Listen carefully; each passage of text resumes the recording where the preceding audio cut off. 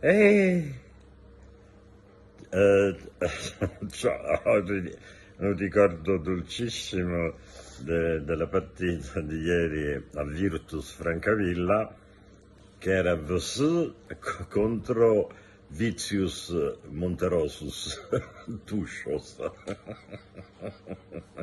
C'erano questi stormi di uccellini che eh, passavano sul campo disturbando i giocatori, si infilavano fra le gambe, non era una cosa carina, ma proprio dispettosi dispettosi che mm, hanno creato un po' di confusione.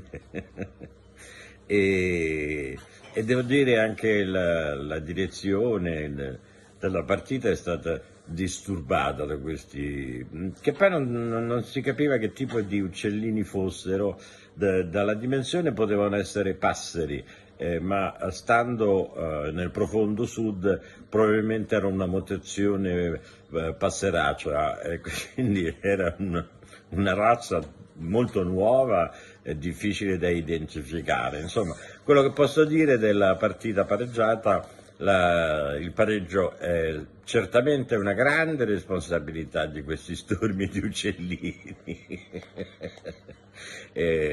un grande saluto, eccoci qua eh, tutto, tutto, finito, eh, finito il campionato, finito subito il playoff, mm, cosa resta, cosa resterà?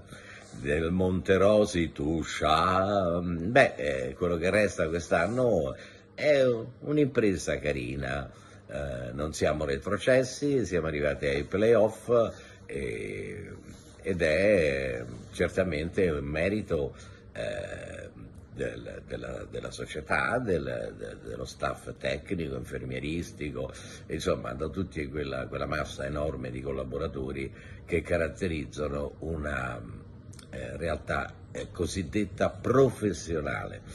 Eh, approfitto per dire che la professionalità dovrebbe prevedere un pochino più di spazio al dilettantismo, lo so che sembra una cosa controversa, che significa tradotto eh, che calcio sopra a tutto, eh, nel professionismo mi rendo conto, chino la testa e mi inchino alle regole, eh, è difficile ottemperare a tutti gli impegni, codicilli, protocolli, eh, è una vera eh, holding di difficoltà burocratiche, perché non cerchiamo di semplificare?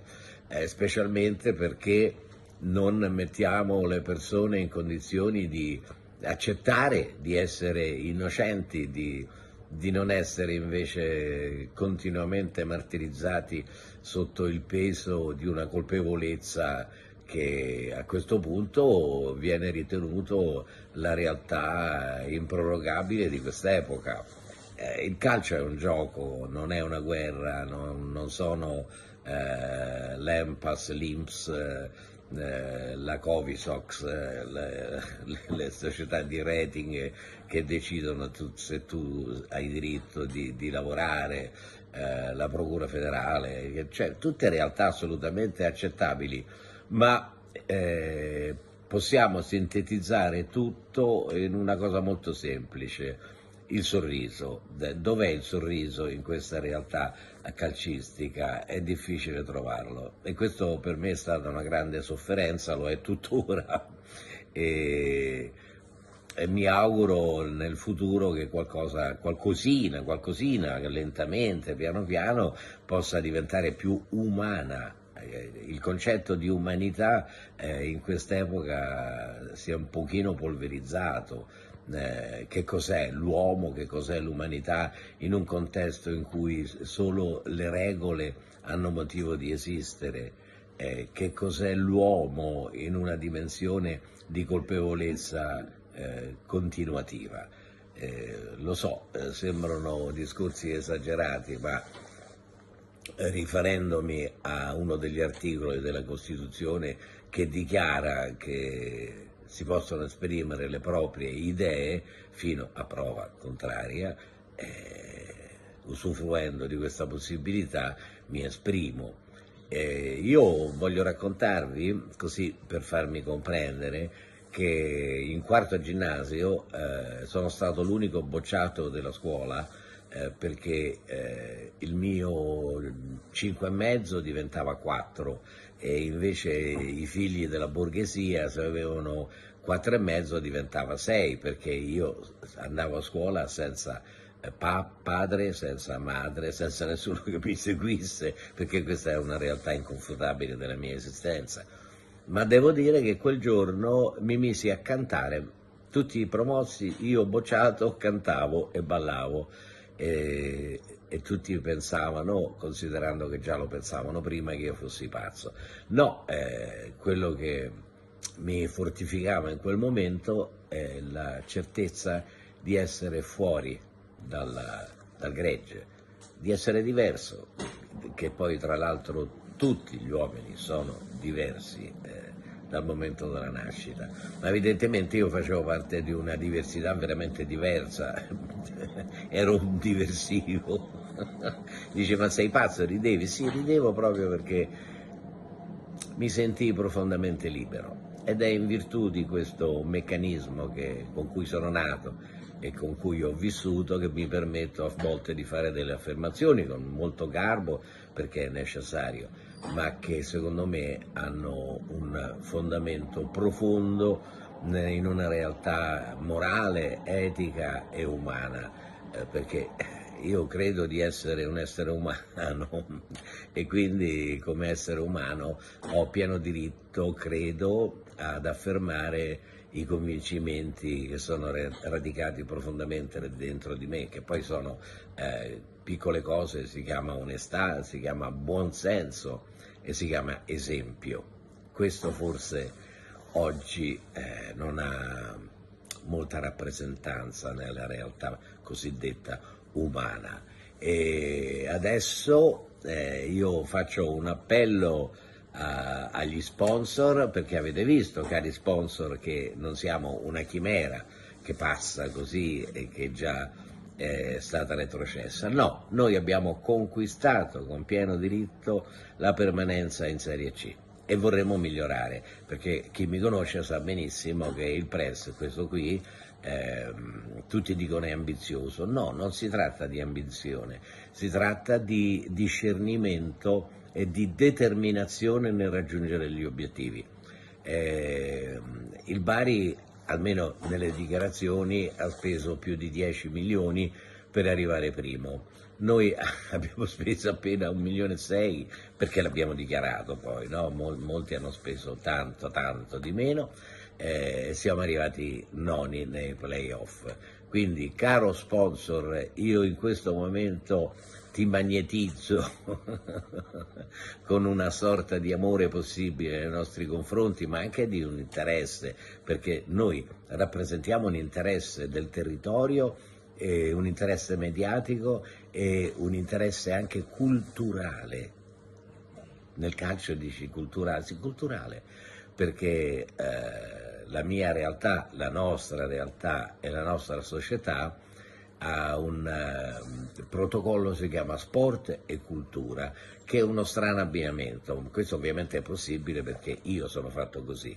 Dici, vabbè, ma tu che c'entri? No, c'entro perché sono presidente e quindi eh, eh, succede che eh, permeo di questo concetto tutti i miei collaboratori, tutti, dal primo all'ultimo. E quindi, caro sponsor, eh, forse oggi puoi avere un interesse reale nel regalare a Monterosi e Monterosi Tuscia una promozione in B.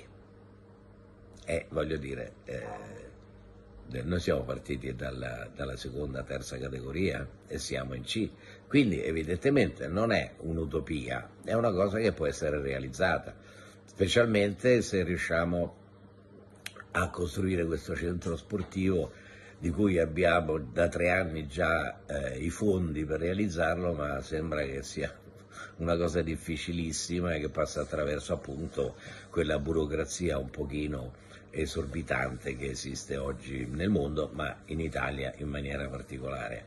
Quindi, caro sponsor, ehm, io approfitto anche eh, delle mie labbra per baciarti selvaggiamente e farti comprendere che può essere eh, un interesse economico aiutare eh, il Monterosi non solo a restare in Cili, ma a rappresentare una realtà un po', un po', da favola, che poi è quello che io faccio, scrivo favole e ho scritto anche una favola, sto scrivendo una favola nel calcio.